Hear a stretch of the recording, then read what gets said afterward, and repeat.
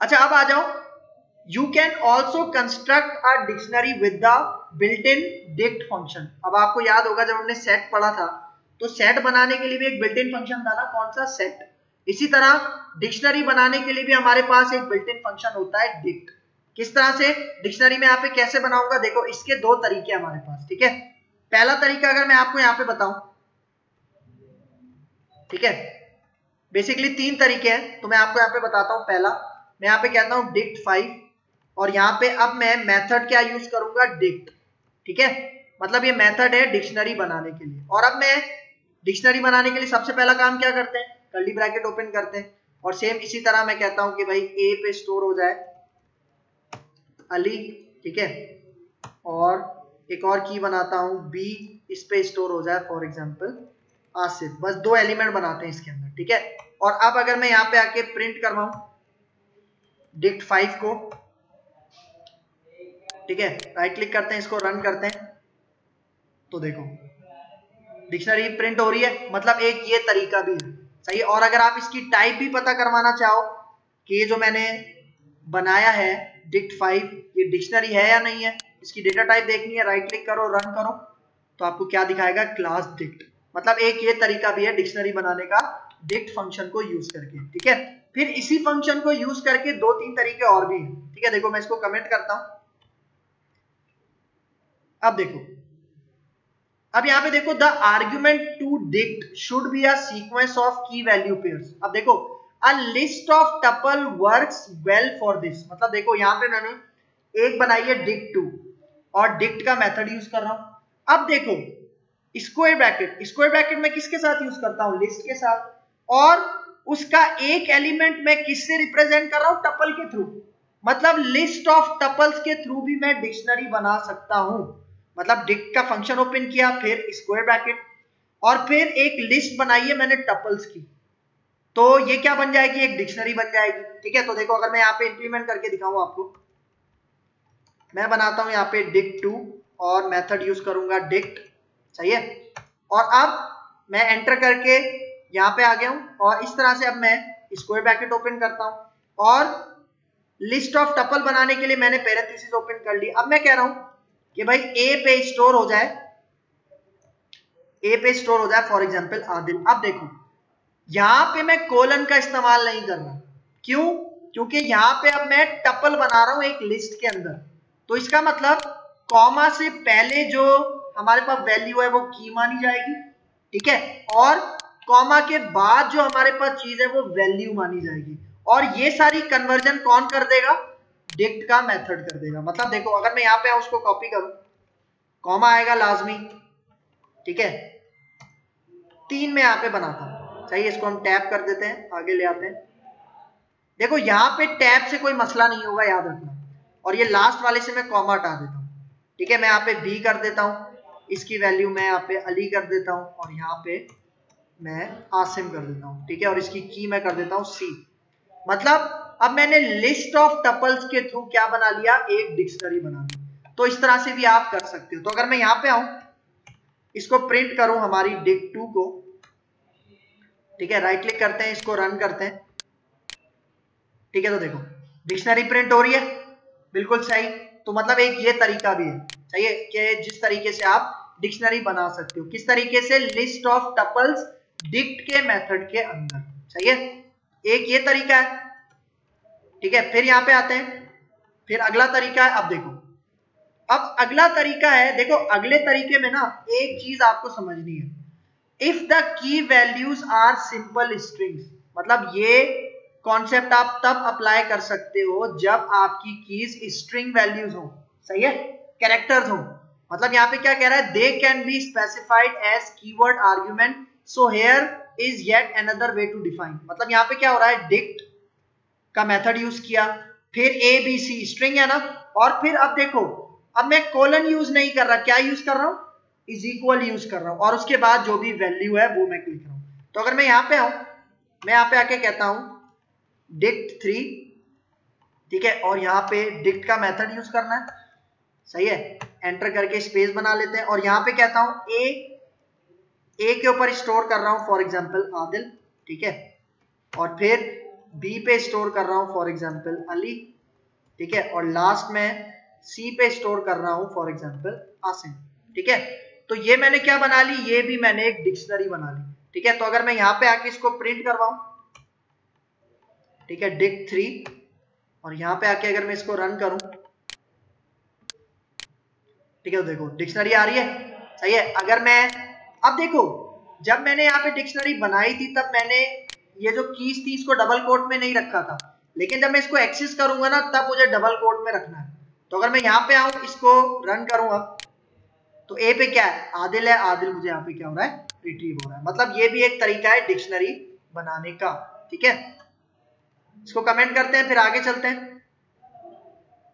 अच्छा आप देखो, ये दोनों पॉइंट्स हमने कवर कर लिए adding an entry to an existing dictionary is simply a matter of assigning a new key and value मतलब अगर मुझे अपनी एक एग्जिस्टिंग डिक्शनरी के अंदर एक और एलिमेंट ऐड करना है, जिस तरह मैंने सरनेम ऐड किया था तो सरनेम मैंने की लिखा था, उसकी वैल्यू दे दी थी तो वो मेरी डिक्शनरी के अंदर क्या हो गया था? ऐड हो गया था। सही है? फिर second point if you want to update an entry, you can just assign a new value to an existing key. मतलब नेम था ना पहले अली था, अली की जगह मैंने असद कर दिया था। सही है? मतलब अली हमारे पास एग्जिस्टिंग वैल्यू थी और फिर उसकी जगह मैंने एक न्यू वैल्यू अपडेट कर दी थी। ये काम मैंने नीचे किया था, मैं आपको दिखा देता हूँ। ठीक है, ये देखो, ये काम मैं क्या कर रहा था? ये तो मैं एक न्यू सरनेम ऐड कर रहा था इसके अंदर, ठीक है? यहाँ पे आते हैं, इसको अनकमेंट में करता हूँ। सही है? मतलब इस पॉइंट पे क्या हो रहा था? देखो, ये जो मैंने डिक्शनरी बनाई थी डिक टू इसके अंदर सरनेम नहीं था। तो मैंने इसके अंदर सरनेम इस तरह से ऐड कर दिया था, ठीक है? लेकिन अगर मुझे मतलब ये आपको रन करके अगर मैं दिखाऊँ तो देखो, ये सरनेम ऐड हो गया। तो ये तो था पहला पॉइंट लेकिन अब मुझे अगर अपडेट करना है तो मैं यहाँ पे कह रहा हूँ जो नेम है ना नेम की जगह क्या है? नेम की जगह अली है ना, उसकी जगह आप क्या कर दो? असद कर दो। तो अब अगर मैं डिक टू प्रिंट करवाऊं तो आप रिज़ल्ट देखना। देखो, पहले नेम में अली था, फिर नेम में असद था, ठीक है? तो इस तरह से भी आप कर सकते हो। फिर आगे चलते हैं। अब देखो डिलीट डिक्शनरी एलिमेंट्स ठीक है? आप किसकी बात कर रहा है? डिक्शनरी के एलिमेंट्स को डिलीट करने की बात कर रहा है। अब देखो, you can either remove individual dictionary elements or clear the entire contents of a dictionary.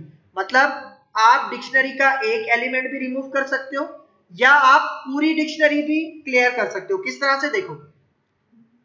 मैं यहाँ पे आता हूँ। मेरे पास ये एक डिक्शनरी है ना, ठीक है, डिक टू के नाम से, ठीक है, और इसके अंदर अब मैं कहता हूँ, मुझे वो जो नेम है ना, ये जो नेम वाला एलिमेंट है, ये मुझे डिलीट करना है, ठीक है? तो देखो, अगर मैं अभी यहाँ पे आके इसको प्रिंट करूँ डिक टू को, और यहाँ पे आके इसको रन करें तो देखो, अभी नेम दिखा रहा है, लेकिन अब मैं नेम को डिलीट करता हूँ। तो मैं एक कीवर्ड यूज़ करूँगा डेल का, और इसके आगे मैं डिक टू ठीक है? और फिर उसके बाद मैं यहाँ पे क्या कर दूँगा? हमारी की का नाम।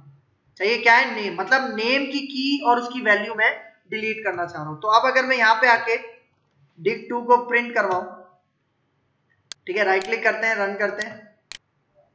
तो अब यहाँ पे देखो।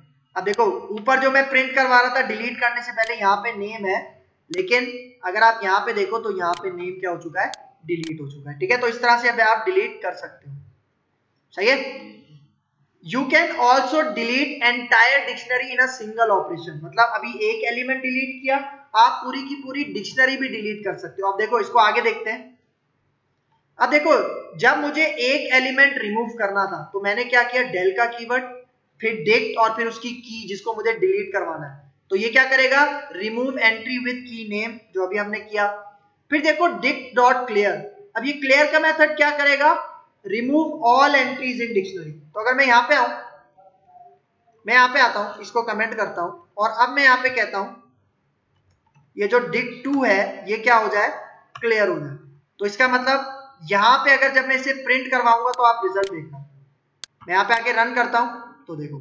यहाँ पे हमें क्या रिज़ल्ट आ रहा है? एम्प्टी मतलब यहाँ पे हमें सारे रिज़ल्ट प्रिंट करवा रहा है। लेकिन जब मैंने उसको क्लियर किया तो इस पॉइंट पे वो मुझे क्या दिखा रहा है?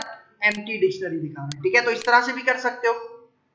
फिर यहाँ पे देखो क्लियर का मेथड अगर आपने यूज़ नहीं करना तो आप डेल का कीवर्ड यूज़ करो और उसके बाद डिक्शनरी का नाम रख दो। ठीक है? तो अगर मैं यहाँ पे आऊ, ठीक है? देखो, मैं यहाँ पे आके इसको कमेंट करता हूँ। बल्कि सिर्फ़ इसको कमेंट करते हैं क्लियर वाले मेथड को। और यहाँ पे देखो, मैं डेल और यहाँ पे आके मैं डिक टू मतलब इस पॉइंट पे मेरी पूरी डिक्शनरी डिलीट हो जाएगी और उसके बाद अगर मैं एक्सेस करने की कोशिश करूँगा तो रिज़ल्ट देखना। अब यहाँ पे देखो, क्या मैसेज आ रहा है? Dict two is not defined क्यों? क्योंकि डिक टू मैंने यहाँ पे क्या कर दिया था? डिलीट कर दिया था और यहाँ पे जब मैं उसे एक्सेस करने की कोशिश कर रहा हूँ तो क्या कह रहा है? Dict two is not defined सही है? आप एक चीज़ नोटिस करो, जब मैंने डेल यूज़ किया, तब उसने मुझे एरर दिखाया। लेकिन जब मैं क्लियर यूज़ कर रहा था, तब वो मुझे एरर नहीं दिखा रहा था, बल्कि तब वो मुझे क्या दिखा रहा था? एक एम्प्टी स्ट्रिंग दिखा रहा था। ठीक है, एक ये पॉइंट है। ठीक है मतलब डेल यहाँ पे हमें एरर दिखाएगा और क्लियर हमें यहाँ पे एरर नहीं दिखाएगा। ठीक है, एक इसका ये पॉइंट है। फिर यहाँ पे देखो, एक मेथड जो हमने सेट में भी पढ़ा था पॉप ठीक है पॉप मेथड यहाँ पे मैं एक आइटम को रिमूव करने के लिए यूज़ कर सकता हूँ। किस तरह से? देखो, मैं यहाँ पे आता हूँ। ठीक है, इसको मैं कमेंट करता हूँ। ठीक है, और मैं यहाँ पे कहता हूँ कि भाई मेरे पास जो डिक टू है, ठीक है, इसमें आप डॉट पॉप ठीक है, और आप पॉप कर दो किसको? नेम को। ठीक है नेम की की को आप क्या कर दो? पॉप कर दो। तो अगर मैं यहाँ पे आऊँ और राइट क्लिक करूँ और अब इसको रन करूँ तो यहाँ पे देखो ये जो पहली आपके पास डिक्शनरी प्रिंट हो रही है, इसमें नेम है। लेकिन जब मैंने पॉप किया नेम को तो ये जो सेकंड आपके पास है, इसके अंदर वो नेम की की और उसकी वैल्यू मौजूद नहीं है, ठीक है? मतलब पॉप में आप डिफाइन कर सकते हो की कि कौन सी की आपको वैल्यू डिलीट करनी है। लेकिन अगर आप चाह रहे हो, यहाँ पे देखो, हमारे पास एक और होता है, इसको मैं कमेंट करता हूँ। हमारे पास एक और मेथड होता है पॉप आइटम का। देखो पॉप आइटम क्या करता है, देखो। मैं यहाँ पे आता हूँ, मैं कहता हूँ dict two dot pop item अब देखो पॉप आइटम के अंदर कोई आर्ग्यूमेंट नहीं आएगा, ठीक है? मैं यहाँ पे आके इसको रन करता हूँ तो आप रिज़ल्ट देखो। अब देखो पॉप आइटम ने क्या किया? जो आखिरी था मतलब यहाँ पे देखो मेरिट वाला जो आइटम था, ठीक है? वो उसने इस लिस्ट में से डिलीट कर दिया। मतलब पॉप आइटम क्या कर रहा है? आपकी डिक्शनरी का जो लास्ट एलिमेंट है, उसको क्या कर रहा है? रिमूव कर रहा है। ठीक है, एक इसका ये पॉइंट है। ठीक है, फिर आगे चलते हैं। अब यहाँ पे देखो, क्या कह रहा है? Dictionary values have no restriction ठीक है, इसका मतलब कि डिक्शनरी के अंदर जो हम वैल्यूज़ देते हैं ना, ठीक है की वैल्यू पेयर होता है, और उसके अंदर जो हम वैल्यूज़ देते हैं मतलब उन वैल्यूज़ के ऊपर कोई भी रिस्ट्रिक्शन नहीं है। इसका मतलब यहाँ पे क्या कह रहा है? सेकंड पॉइंट में they can be any arbitrary Python object इधर स्टैंडर्ड ऑब्जेक्ट्स और यूज़र डिफाइंड ऑब्जेक्ट्स इसका मतलब यहाँ पे ऑब्जेक्ट्स मतलब डेटा टाइप की बात कर रहा है, ठीक है? मतलब जो डिक्शनरी को आप वैल्यूज़ देते हो, वो किसी भी डेटा टाइप की हो सकती है, उसमें कोई रिस्ट्रिक्शन आपके पास नहीं है। मतलब आपके पास इंटीजर हो सकता है फ्लोट ठीक है? यहाँ तक के आपके पास और जितने भी ऑब्जेक्ट्स हैं, जो आप खुद बनाते हो, या जो प्री डिफाइंड होते हैं, वो भी आप इनकी वैल्यूज़ के अंदर रख सकते हो, ठीक है? एक ये पॉइंट है।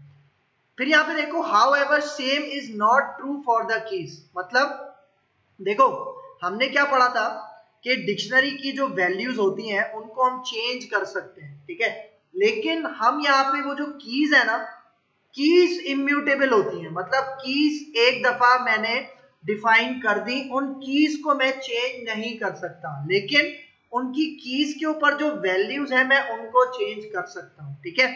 मतलब हमने यही देखा था कि जो वैल्यूज़ हैं डिक्शनरी की, ठीक है कीज नहीं वैल्यूज़ को मैं चेंज कर सकता हूँ क्योंकि वैल्यूज़ म्यूटेबल होती हैं, लेकिन उसकी जो कीज है वो इम्यूटेबल होती है, लेकिन कीज भी किसी भी डेटा टाइप की हो सकती है। सही है? मतलब कीज और वैल्यूज़ में एक चीज़ कॉमन क्या है? कि कीज भी किसी भी डेटा टाइप की हो सकती है मतलब इंटीजर डेटा टाइप की भी की आप बना सकते हो, आप उसके स्ट्रिंग की की भी बना सकते हो, और जो डेटा टाइप आप चाहो वो बना सकते हो। बट एक डिफरेंस क्या है कि कीज को आप चेंज नहीं कर सकते क्योंकि वो इम्यूटेबल होती हैं। लेकिन उन कीज के ऊपर जो वैल्यूज़ है, आप उनको चेंज कर सकते हो अपडेट कर सकते हो। ठीक है? एक इसका ये पॉइंट है। अब देखो there are two important points to remember about dictionary keys इसका मतलब मतलब जब भी हम कीज बनाते हैं तो हमें दो पॉइंट्स रिमेंबर रखने पहला पॉइंट है मोर देन वन एंट्री पर की इज़ नॉट अलाउड मतलब एक की के ऊपर मैं मल्टीपल वैल्यूज़ अप्लाई नहीं कर सकता। इसका मतलब this means no duplicate key is allowed इसका मतलब देखो, मैं यहाँ पे आता हूँ। ठीक है पाइचाम में आते हैं और यहाँ पे ये जो हमने कोड किया था, मैं इसको कमेंट करता हूँ। ठीक है ऊपर जाते हैं, मैं एक और डिक्शनरी यहाँ पे बनाता हूँ। ठीक है? यहाँ पे मैं एक डिक्शनरी बनाता हूँ, इसका नाम मैं रखता हूँ डिक्ट वन ठीक है? और डिक्शनरी के लिए हम क्या यूज़ करते हैं? कर्ली ब्रैकेट और मैं यहाँ पे एक की बनाता हूँ ए ठीक है? इसके ऊपर मैं स्टोर करवाता हूँ एक स्टूडेंट जैन ठीक है? और फिर एक की बनाता हूँ बी उसके ऊपर मैं स्टूडेंट स्टोर करवाता हूँ अनस ठीक है? एक और की बनाता हूँ मैं सी इसके ऊपर मैं स्टोर करवाता हूँ फॉर एग्ज़ाम्पल नासिर ठीक है? ये मैंने एक डिक्शनरी बनाई है, सही है? अब इसका मतलब यहाँ पे क्या कह रहा था? कि एक की के ऊपर आप मल्टीपल वैल्यूज़ स्टोर नहीं करवा सकते। इसका मतलब कि देखो ए के ऊपर मैंने अभी क्या स्टोर करवाया? जेन ठीक है? मतलब एक वैल्यू में करवा चुका हूँ स्टोर मतलब अब मैं दूसरी ए के ऊपर नहीं कर सकता। तो अगर मैं यहाँ पे आऊँ, सबसे एंड में, मैं यहाँ पे कहता हूँ कि भाई ए के ऊपर मैं असाइन करवा लेता हूँ फॉर एग्जांपल आसिम ठीक है? तो अब रिज़ल्ट देखना क्या आएगा? ठीक है? मैं अगर यहाँ पे इस डिक्शनरी को प्रिंट करवाऊं, ठीक है? और मैं यहाँ पे कहता हूँ डिक्ट वन ठीक है? और यहाँ पे आके अगर मैं इसके ऊपर राइट क्लिक करूँ और इसको रन करूँ तो आप रिज़ल्ट देखना ठीक है, यहाँ पे आते हैं, इसको रन करते हैं। अब देखो ए के ऊपर क्या स्टोर है? आसिम। बी के ऊपर अनस सी के ऊपर नासिर लेकिन अगर आप एक चीज़ नोटिस करो ए के ऊपर तो मैंने जैन स्टोर करवाया था ना, ठीक है? लेकिन एंड में मैंने ए के ऊपर क्या स्टोर करवा दिया था? आसिम। इसका मतलब जो सबसे लास्ट में मतलब जो करंट जो भी उस की को लेटेस्ट वैल्यू मिलेगी, वो उसी को एक्सेप्ट करेगा। मतलब मैंने शुरू में क्या किया था? ए के ऊपर मैंने जैन स्टोर करवाया था, फिर ए के ऊपर मैं आसिम स्टोर करवा रहा था। अब मल्टीपल वैल्यूज़ तो एक की के ऊपर स्टोर हो नहीं सकती, ठीक है? तो जो मैं लास्ट स्टोर करवा रहा था, जो मैंने करंट मतलब जो मैंने लेटेस्ट वैल्यू स्टोर करवाई थी, इसने उसी को एक्सेप्ट किया। मतलब ए के ऊपर उसने आसिम स्टोर किया, इसने ए के ऊपर जैन को इग्नोर कर दिया। ठीक है? एक ये भी इसका पॉइंट है, याद रखना। सही है? लेकिन अगर मैं यहाँ से ये ए के ऊपर आसिम, ये हटा दू, और अब अगर मैं यहाँ पे आके रन करूँ तो हमें क्या रिज़ल्ट मिलेगा? ए के ऊपर जैन ही मिलेगा। ठीक है? तो एक ये भी पॉइंट है। सही है? मतलब यहाँ पे क्या कह रहा है? मोर देन वन एंट्री पर की इज़ नॉट अलाउड मतलब एक की के ऊपर आप मल्टीपल वैल्यूज़ नहीं डाल सकते। फिर दूसरा this means no duplicate keys allowed इसका मतलब ए मैंने एक दफ़ा दे दिया, मैं उसको दोबारा नहीं दे सकता। ठीक है? एक इसका ये पॉइंट है। फिर देखो when duplicate keys are encountered मतलब अगर उसको डुप्लीकेट की मिल जाती है डिक्शनरी के अंदर तो वो क्या करेगा? द लास्ट असाइनमेंट विंस इसका मतलब अगर उसे डुप्लीकेट वैल्यू मिल गई है तो वो असाइनमेंट जो आपने सबसे लेटेस्ट की होगी करंट की होगी, वो जीत जाएगी। ठीक है? मतलब हमारे केस में यहाँ पे क्या हो रहा था? मैं कंट्रोल जेड करूँ। मैंने यहाँ पे लास्ट असाइनमेंट क्या दी थी? ए को आसिम दिया था। तो आसिम ही हमारे पास आ रहा था ना? जैन नहीं आ रहा था। ठीक है? तो ये पॉइंट यहाँ पे समझाना चाह रहे हैं। ठीक है? तो यहाँ पे इसको मैं वापस हटा देता हूँ। ठीक है? तो एक डिक्शनरी का ये पॉइंट है। फिर देखो, दूसरा क्या पॉइंट है? कीज मस्ट बी इम्यूटेबल इसका मतलब आप वैल्यूज़ को तो चेंज कर सकते हो। मतलब जो की वैल्यू पेयर में जो हम वैल्यूज़ स्टोर करवाते हैं वैल्यूज़ आप चेंज कर सकते हो, ठीक है? आप कीज को चेंज नहीं कर सकते। इसका मतलब मैं चाह रहा हूँ कि ये जो मेरे पास ए है ना ए की बनाई है मैंने। मैं बाद में जाके इसको चेंज कर दूँ तो वो मैं नहीं कर सकता। ये हम लेक्चर के स्टार्टिंग में देख चुके थे, ठीक है? अब देखो the interpreter raises the exception कौन सी एक्सेप्शन की error when a dictionary is accessed with either an undefined key or by a numeric index. मतलब देखो, मैं डिक्शनरी को एक्सेस कैसे करता हूँ? उसकी की लेकिन मैं एक ऐसी की के साथ उसको एक्सेस करने की कोशिश कर रहा हूँ जो हमारी डिक्शनरी में मौजूद ही नहीं है। तो तब कौन सी एक्सेप्शन आती है? की एरर ठीक है, देखो।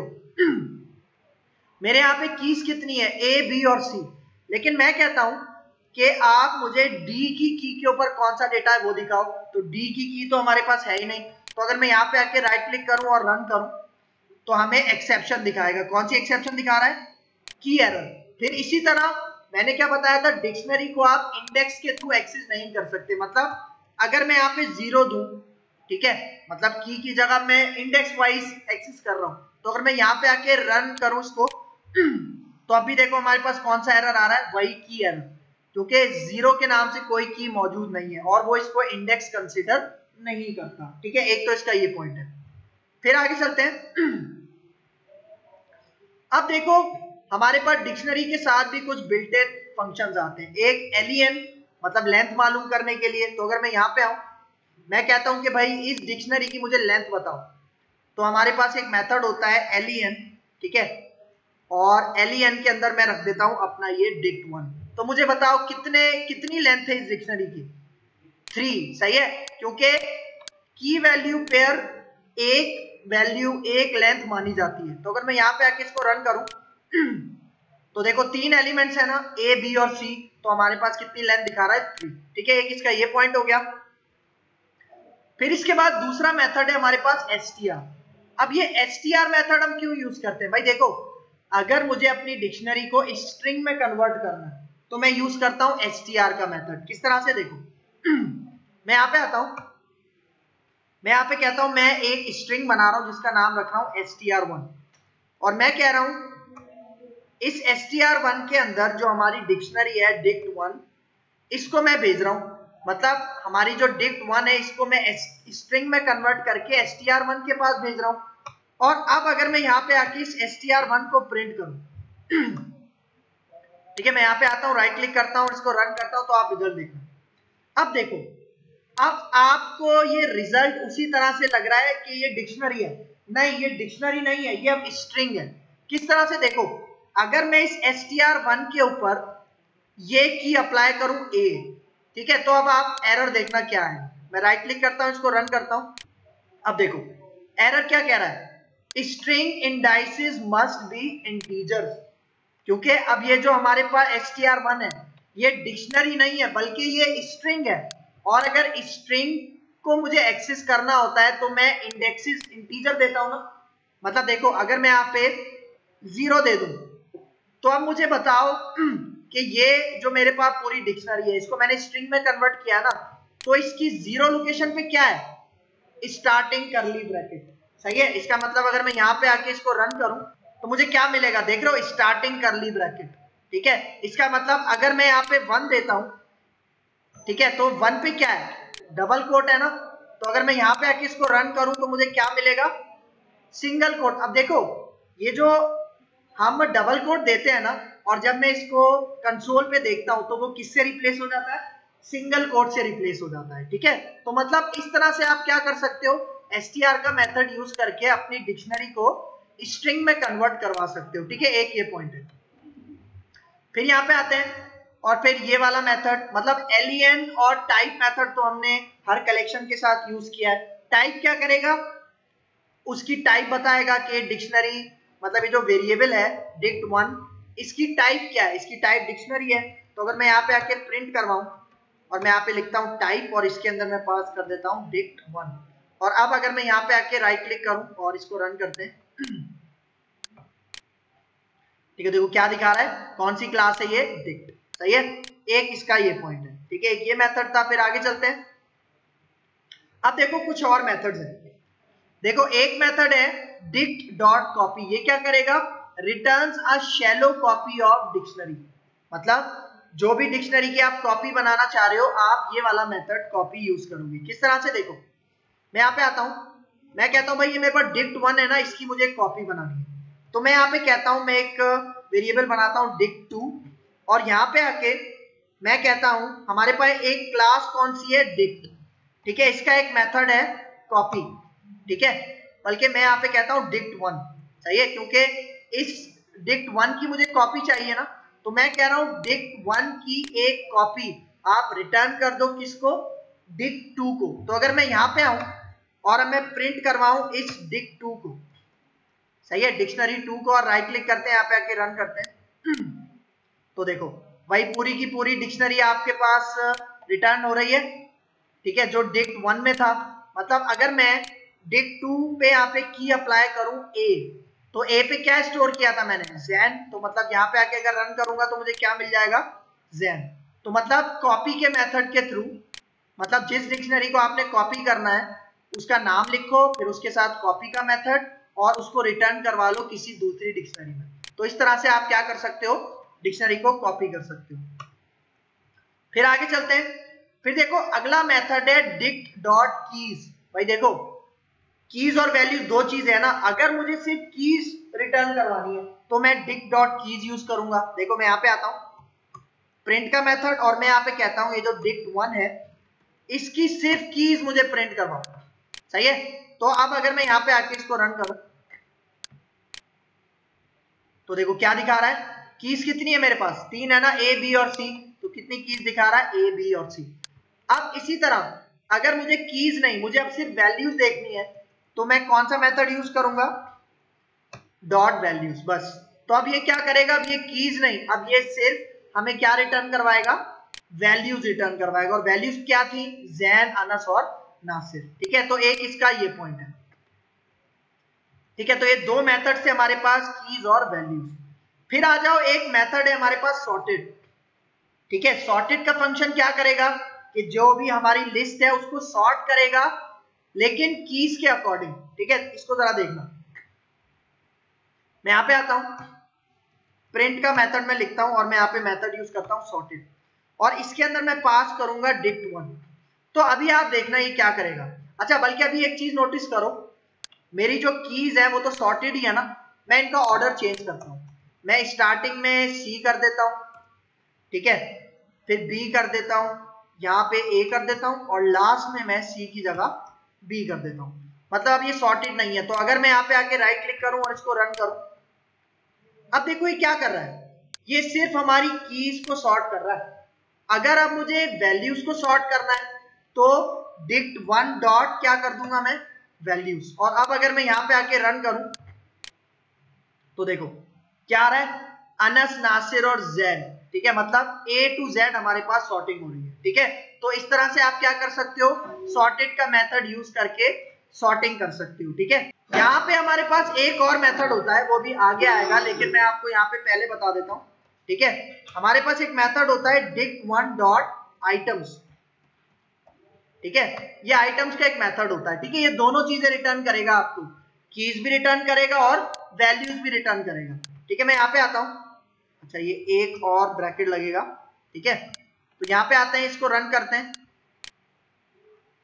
अब देखो ए बी और सी देख रहे हो? अब इसने क्या करवाया हुआ आपके पास सॉर्टिंग करवाई हुई है, ठीक है? तो इस तरह से आप क्या कर सकते हो? सॉर्टेड का मेथड यूज़ करके अपने डिक्शनरी के आइटम्स को, चाहे वो कीज हो या वैल्यूज़ हो, उनको सॉर्ट करवा सकते हो। ठीक है, फिर आगे चलते हैं। ठीक है, चार मेथड ये हो गए। अब देखो, हमारे पास एक और मेथड होता है फ्रॉम कीज अब देखो, ये मेथड थोड़ा सा डिफरेंट है। ठीक है, देखो, पहले मैं इसका प्रैक्टिकल वर्ड बताता हूँ। मैं इस इस डिक्शनरी को भी कमेंट कर रहा हूँ। भाई देखो, मैं यहाँ पे बनाता हूँ फॉर एग्ज़ाम्पल एक लिस्ट ठीक है एक मैं सीक्वेंस बना रहा हूँ, ठीक है? और वो सीक्वेंस होगा एक लिस्ट मैं यहाँ पे कहता हूँ लिस्ट का पहला आइटम है ए दूसरा आइटम है बी और तीसरा आइटम है हमारे पास सी सही है? अब मैं कह रहा हूँ, एक डिक्शनरी बनाओ, उसका नाम रखो डिक्ट वन और मैं यहाँ पे कह रहा हूँ, हमारे पास ये जो डिक्ट क्लास है, इसका एक मेथड होता है फ्रॉम कीज कौन सा मेथड है? फ्रॉम कीज इसके अंदर मैं क्या पास कर देता हूँ? ये जो मैंने सीक्वेंस बनाया अब देखो, ये जो सीक्वेंस है ना, ठीक है, ये मैंने किसको पास कर दिया? फ्रॉम कीज के मेथड को। अब फ्रॉम कीज पता है क्या करेगा? ये जो मैंने सीक्वेंस पास किया है, इसको एज अ कीज कन्वर्ट करेगा और कहाँ पे भेज देगा? डिक्ट वन के पास भेज देगा। मतलब अगर मैं डिक्ट वन को प्रिंट करवाऊं तो आप रिज़ल्ट देखना डिक्ट वन को मैं प्रिंट करवाता हूँ और अब आप रिज़ल्ट देखना। देखो क्या आ रहा है? इनकी कीज पे नोटिस करो। ए बी और सी मतलब कीज उसने कहाँ से ली है? सीक्वेंस से। और सीक्वेंस मतलब एक लिस्ट है। इसके अंदर मैंने क्या लिखा था? ए बी और सी इसका मतलब इसने सीक्वेंस में से कीज को पिक किया और उसको डिक्शनरी में कन्वर्ट करके कीज की जगह पे रख दिया। सही है? लेकिन देखो वैल्यूज़ की जगह पे क्या आ रहा है? वैल्यूज़ की जगह पे आ रहा है नन नन नन अब अगर मुझे वैल्यूज़ भी सेट करनी है, ठीक है? तो मैं यहाँ पे आता हूँ। ये जो सीक्वेंस मैंने दिया है ना फ्रॉम कीज के मेथड में, मैं कॉमा लगाता हूँ। इसके बाद फॉर एग्जांपल मुझे क्या रखना है? ठीक है? मतलब मुझे ए बी और सी की की पे कौन सी वैल्यू रखनी है? मैं कह देता हूँ, मुझे वैल्यू रखनी है आदिल। तो अब क्या होगा कि फ्रॉम कीज क्या करेगा? कि कीज कहाँ से लेगा? इस सीक्वेंस में से। मतलब कीज लेगा यहाँ से और वैल्यू कौन सी लेगा? आदिल। और इन तीनों कीज पे क्या स्टोर करवा देगा? आदिल स्टोर करवा देगा एज अ वैल्यू तो अगर मैं यहाँ पे आके इसको रन करूँ तो अब आप रिज़ल्ट देखना। अब देखो ए के ऊपर भी आदिल है बी के ऊपर भी आदिल है सी के ऊपर भी आदिल है। मतलब देखो, ये फ्रॉम कीज का मेथड हम कब यूज़ करते हैं? जब हमें कीज किसी और सीक्वेंस से चाहिए होती है। और सारी कीज पे जब हमें एक ही वैल्यू सेट करवानी हो, तब हम इस फ्रॉम कीज के मेथड को यूज़ करते हैं। मतलब मैं ऐसा नहीं कर सकता कि हर की पे अलग अलग वैल्यू स्टोर करवाऊं, नहीं। जब मुझे सारी कीज के ऊपर कोई एक ही वैल्यू सेट करवानी होगी, तब मैं यूज़ करता हूँ फ्रॉम कीज का मेथड सही है? अगर ऐसी कोई कंडीशन नहीं है, तब आप इस मेथड को यूज़ नहीं करोगे। सही है? मतलब फ्रॉम कीज के पहले आर्ग्यूमेंट में कोई भी सीक्वेंस आएगा। आप देखो सीक्वेंस ज़रूरी नहीं है लिस्ट हो। वो आपके पास टपल भी हो सकता है सेट भी हो सकता है। देखो, अगर मैं यहाँ पे आके टपल कर दूँ, और टपल को हम किससे रिप्रेजेंट करते हैं? पेरेंथीसिस से। तो अब अगर मैं यहाँ पे आके रन करूँ तो देखो, अभी भी वही रिज़ल्ट आपको दिखा रहा है। ठीक है? और अगर मैं यहाँ पे सेट कर दूँ सेट को हम किससे रिप्रेजेंट करते हैं? कर्ली ब्रैकेट से, और अब अगर मैं यहाँ पे आके रन करूँ, ठीक है तो अभी भी हमें वही रिज़ल्ट दिखाएगा, ठीक है? तो एक ये पर्पज है आपके पास फ्रॉम कीज के मेथड का, ठीक है? फिर इसको कमेंट करते हैं, आगे चलते हैं। ठीक है, देखो यहाँ पे यही कह रहा है the method from keys creates a new dictionary with keys from sequence मतलब जो भी आप सीक्वेंस प्रोवाइड करोगे, उससे रिलेटेड एक डिक्शनरी बना के देगा and value set to value मतलब ये जो भी आप सेकंड आर्ग्यूमेंट में वैल्यू दोगे, एक वैल्यू सिंगल वैल्यू वो इन सब कीज की वैल्यू पे क्या कर देगा? सेट कर देगा। ठीक है? और ये साइंटेक्स लिखा हुआ है, जो अभी हमने यूज़ किया। अब आ जाओ, एक और मेथड है हमारे पास गेट अब देखो गेट क्या कह रहा है? The method get returns a value for the given key इसका मतलब मैं यहाँ पे आके अगर आपको दिखाऊँ।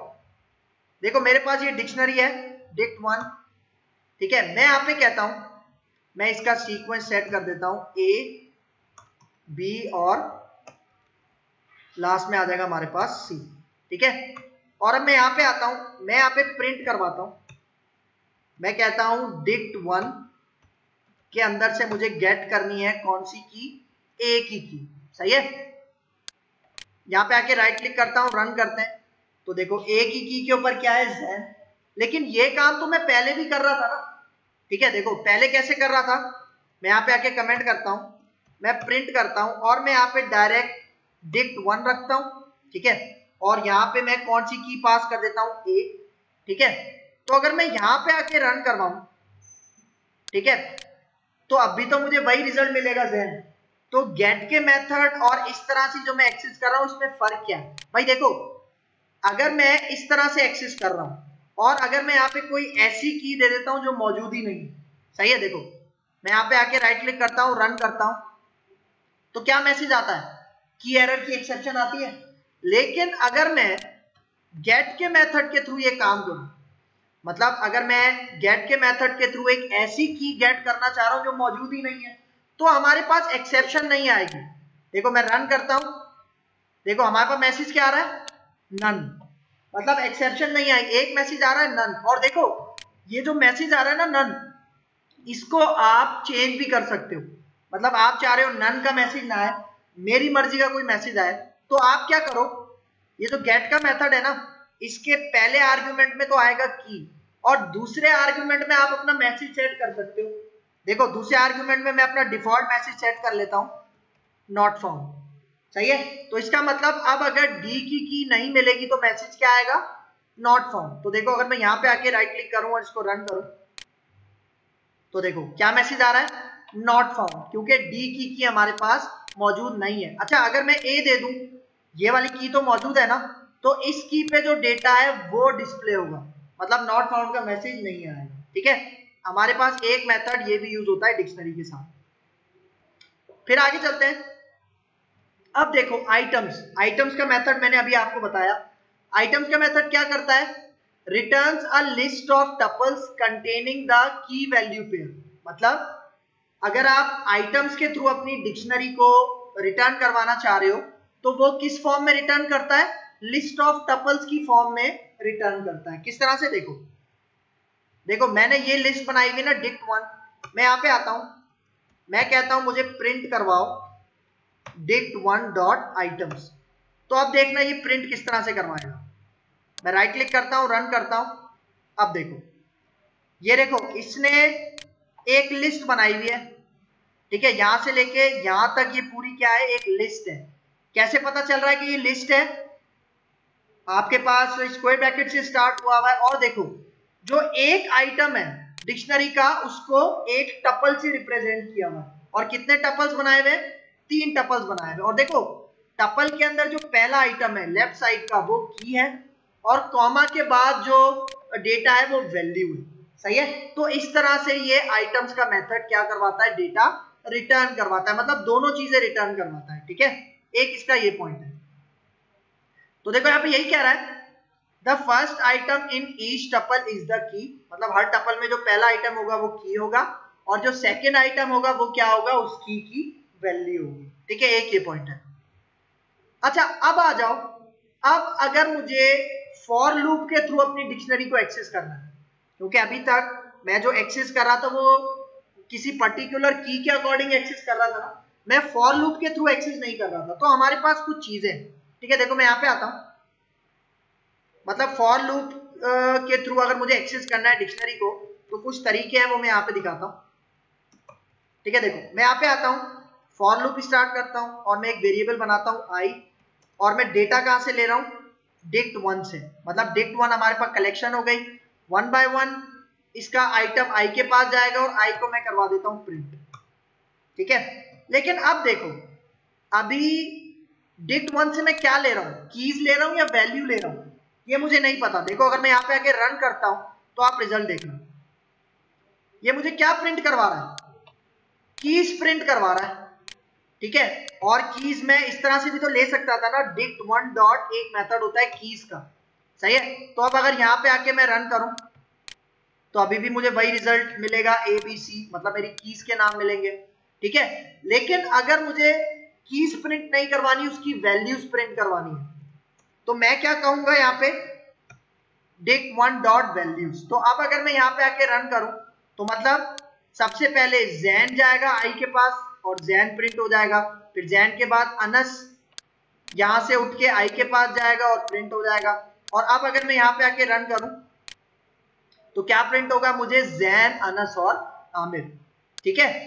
अच्छा अगर अब मुझे दोनों चीज़ें चाहिए, अभी तो मैं या तो सिर्फ़ कीज ले रहा था, या सिर्फ़ वैल्यूज़ ले रहा था तो दोनों चीज़ें चाहिए तो अभी मैंने कौन सा मेथड बताया आपको? आइटम्स ये दोनों चीज़ें रिटर्न करेंगे। आप देखो, दो चीज़ें रिटर्न कर रहा है एक की और एक वैल्यू तो उसको एक्सेप्ट करने के लिए मैं यहाँ पे दो वेरिएबल्स बनाता हूँ. एक आई बना लेता हूँ और एक जे बना लेता हूँ. ठीक है? तो अब आई के पास क्या है?